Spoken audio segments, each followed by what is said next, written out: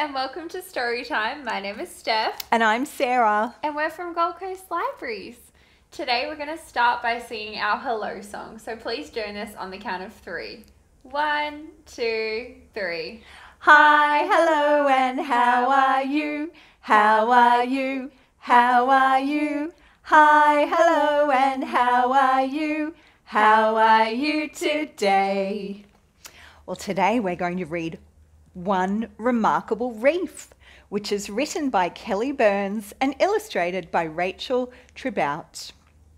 Oh, look at all the beautiful colours. Lovely, and animals oh, too. Lots and lots of animals. Oh, turtles and seahorses and fish.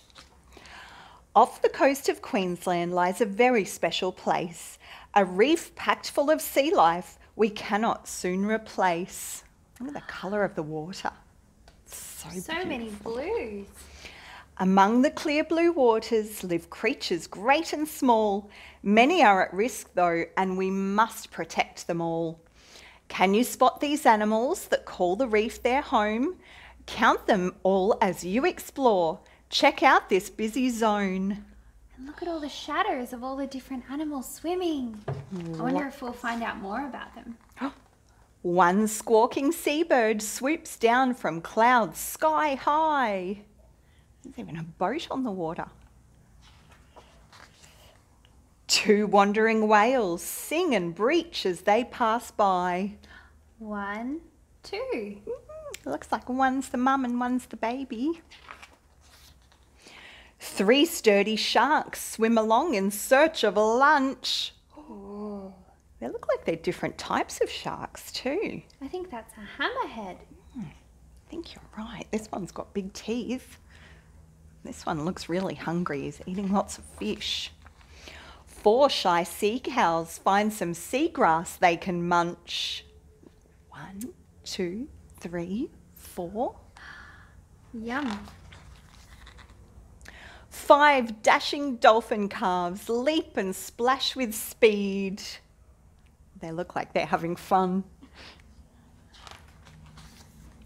Six moving manta rays form a chain to feed.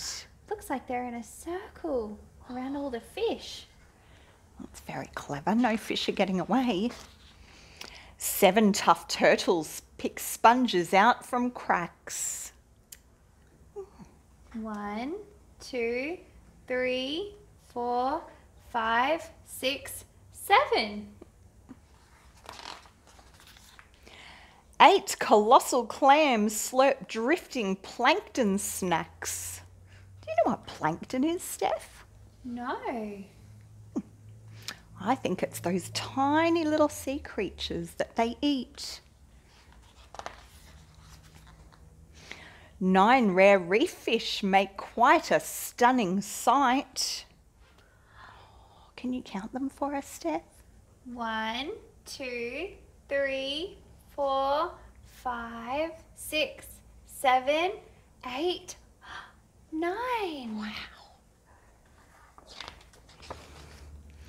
Ten coral colonies give haven for the night. I think that's where the fish sleep. Yeah, they're probably safe in there.